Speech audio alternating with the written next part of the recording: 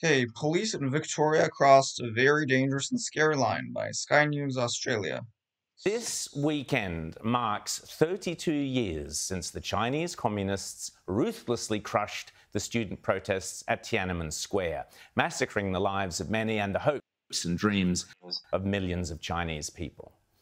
This weekend in Hong Kong, where only a couple of years ago there would be at least a couple of thousand people, a couple of eh, 180 or so thousand people holding vigils to commemorate the anniversary. Now the Chinese communists have crushed the memory of it, and anyone who dares to show up faces five years in jail.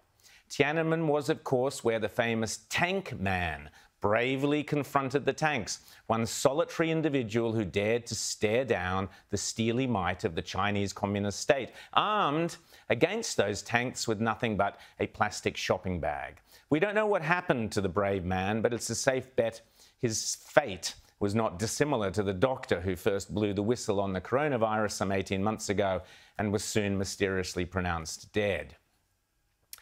Back in 1989, we all recognized China for the brutal, ruthless, totalitarian dictatorship it was, and the photo of Tank Man caused anger and outrage around the world. We hadn't yet developed this foolish fantasy encouraged here in Australia by Aldi shopping bags stuffed with cash handed around to Labor politicians and our universities that China would eventually become more like us once they'd had a taste of capitalism. What a joke. That was all part of the sleight of hand China pulled when they took and when they duped the British that they would keep the two systems that allowed Hong Kong to flourish as a capitalist powerhouse. That's all over now. But here's the irony rather than China becoming more like us, are we becoming more like them? Last year, we saw scenes in Victoria that I certainly never believed we would see in Australia. Yeah, uh, the thing is that the irony is like whenever the police cracks down against uh, more left wing protesters, uh, you don't emit a single peep, you people, right? You're just like, oh, the protesters were like destroying everything, and we needed to bring in the, the police to reestablish uh, law and order, you know, and society, Western civilization depends on law and order, and it's degenerating with uh, neo Marxist postmodernism. A police force as ruthless as in any tin pot totalitarian regime. Right, police force. Can you hear yourselves honestly? Right wingers complaining about police brutality. Are you are you like are you serious? Are you like do you not feel just the weight of the irony crushing your soul? Now you're under arrest in relation to incitement. Incitement? What's that? Now, you're not obliged to say or do anything, but anything you say or do may be given evidence. Excuse me, incitement for what? What the, what on earth? Excuse me, what what on earth? Just put your phone down. Can you like relation record this? I'm in my pajamas. What's I this? An ultrasound in an hour. Yeah, I'm she's pregnant, so choking me, dude! What the f- in the head! You're What the are you doing? What the It's funny because like if that if that woman like obviously it seems it seems a bit coercive, right? I I I don't really know what the context of this thing is, but presumably she was like doing some sort of right wing incitement to violence thing, and like I'm not gonna necess- I'm not gonna defend the I- I don't know the situation. I don't know if I should defend or not the actions of the police there, but what I'm saying is that this is so ironic because like normally they they would just say that like if it was like for for non right wing causes, right? They would just say, "Oh, that's this is just a sort of a trashy person, and it's just the police doing its job." Okay, I, again, note the hypocrisy. Police dragged Natalie Benet from her car.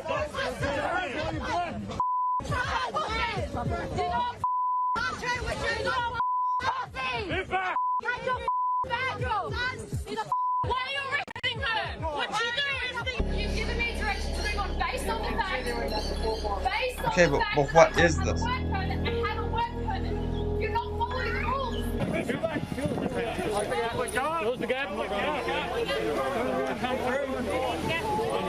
What is this about? leave my don't break my stuff, you I don't understand what this is about. Like, can we just see more than just these images. And they broke down the door. The thuggery we have seen from the police, particularly in Victoria during the lockdown. Oh, now suddenly you're worried about police thuggery, you morons. Now suddenly you talk about it. is chilling and shocked the free world. But it's not only the excessive use of physical force, it is the excessive use of authoritarian power. The police, Tell me about it. rather than protecting the citizens, have become an extension of the government of Victoria, protecting the Tell me about it. bureaucrats and the politicians, Tell me about it. You in this case the Labor Party, from facing in this oh yeah in this case the labor so basically uh, if the labor party is in power then suddenly the police force is a some sort of authoritarian uh, structure like and suddenly you are parroting blm talking points because labor is in power and like oh no much needed criticism and legitimate lawful protest. But it's hardly surprising. This is the same leftist premier, Dan Andrews, who has made no secret of his admiration and like yeah and the, that's the first thing that all these rorks do right they, they equate like uh, any kind of wrong thing that a leftist person does they equate it with like the massacres for, of stalinism right it's like the purges of stalin it's like the famines of mao and uh, like the, the murders in tiananmen square and, and like they, they will equate this with like any you know it, it won't even be necessarily the police. It's like there's one student who who like says like defund the police and they'll somehow equate that with with murders. They like they'll just that they will equate anything lefty with the what like the bad things that communist you know socialist whatever regimes did. Okay? That is just the standard uh that's the standard right wing nazi playbook okay? For communist China, going so far as to sign his secret Belt and Road deals exposed to and like yeah and why why is that wrong? Like china's going to invest in australia to like improve your country economically. Why is that a the bad thing? world by this program, by the way, who also signed the entire state of Victoria up to the creepy and sinister UN Stronger Cities program. We need to look much closer at that. And the same premier whose total disappearance since before Christmas after a bizarre incident has sparked an increasingly weird and feverish Melbourne rumour mill reminiscent of Soviet era communism. So you're just evoking. So you just like you just evoke these things. We need to look into that more. And now you say mysteriously blah blah, and then you just leave that hanging, and you're not actually explaining anything more. And so then we're just supposed to figure out somehow that this is some nefarious plot to like replace Australia with like Chinese communists or something. Again, coming from the state that in any case took over the uh, the territory of uh, the original inhabitants. So, like in a way, it would just be justice The served. simple reality is that there is no scientific or uh, science, science or scientific opinion that justifies the heavy-handed approach of the Victorian police to people who pose no genuine risk to public health and who are not at any serious risk of getting, getting or spreading the virus. Oh, okay. So it was the COVID thing. Yeah, of course, of course, of course. So basically, so basically, like the police, as long as it's just shooting black people, that's fine. As long as it's like d- being shitty towards like drunken Aboriginal people, that's fine. Okay.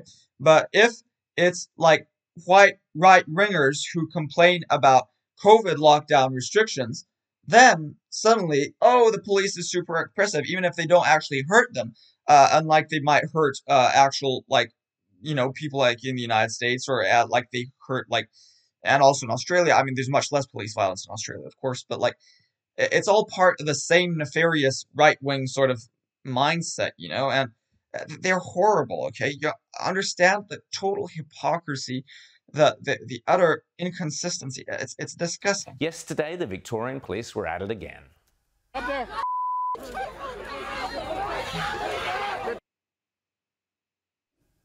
This was at a demonstration against the fourth Victorian lockdown in Melbourne. Perfectly legitimate demonstration, especially when you consider that the reality around the world you're again you're anti-demonstration except when it's for for a stupid right-wing cause that's actually going to hurt hurt people right that's like literally if somebody protests against if they were like protesting against police violence against people of color, then suddenly we say, oh yeah, they were looting and stuff, and they're like, uh, you know, they have no respect, they're savage animals and something, right? That's what you would say. Is now that You more and more motherfucker. You motherfucking piece of shit. Okay? You abomination. lockdowns simply do not work, and they don't have the data to back them up. This chart shows those US states that locked down over winter in blue and those that didn't in red. And it is unmistakable.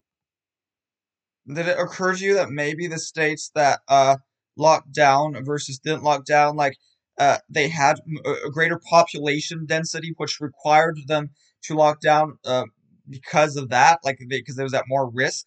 Because that is definitely kind Despite of the case. other factors may come into play, but statistically, lockdown states have higher deaths per million than non lockdown states. Again, In my opinion, in the months or years to come, we will be seeing massive class actions against those states, particularly Victoria, that enforced lockdowns, decimated businesses, destroyed lives for no good reason whatsoever. Worse, Yeah, destroyed lives, just like and like COVID didn't destroy lives by like being a virus that kills you, right? and this is No, that's not- unforgivable, the Andrews government has used its political force to suppress legitimate debate and the freedom of the press. Avi Yemini What?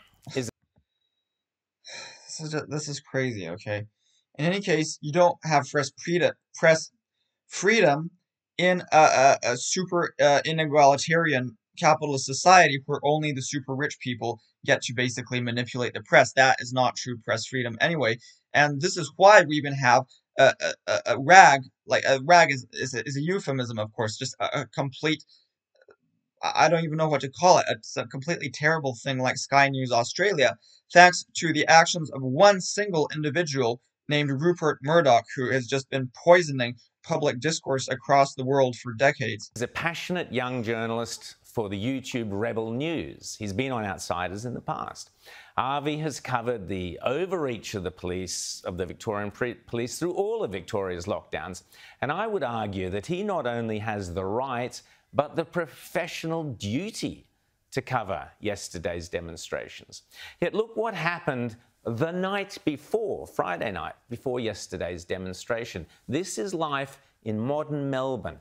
Avi got a Stasi-like knock on the door at 8:30 at night. This? Hi, Avi. My name's Alex. I'm from Dandenong Police Station. Uh, just got a letter here for you.